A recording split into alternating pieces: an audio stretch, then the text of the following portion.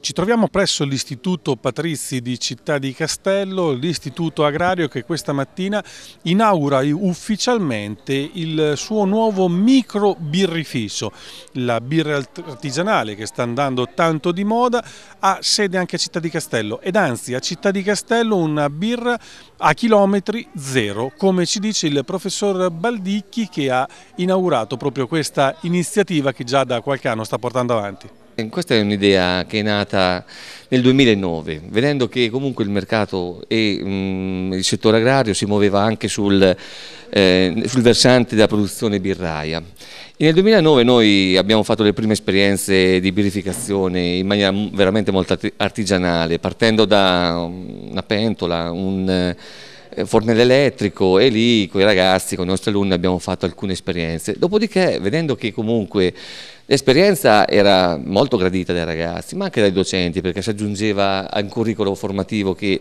tradizionale, questa era la novità, era, e quindi ci siamo, noi docenti siamo rimboccati le maniche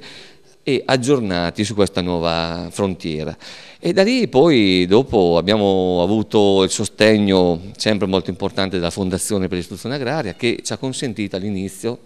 di partire con macchine un po' più professionali, cioè pentole un pochino più grandi, non più fornello elettrico, non più pentolina, ma mm, degli ammostatori piccoli, perché comunque noi rimaniamo in una dimensione veramente eh, domestica, sì, proprio super micro, però che riesce a completare e a dimostrare ragazzi quella che è tutta la filiera di produzione del, della birra artigianale e, e, quindi è significativa, cioè è efficace, questi ragazzi escono e sanno come si fa la birra artigianale. Dirigente scolastico dell'Istituto Patrizi Agrario qui di Città di Castello, allora questo micro birrificio che già in fase sperimentale sta andando bene ma viene questa mattina inaugurato ufficialmente. Sì. Eh, bene, molto piacere di partecipare a questa inaugurazione realizzazione di un progetto che non ho avviato io, che però insomma, ho dire, caldeggiato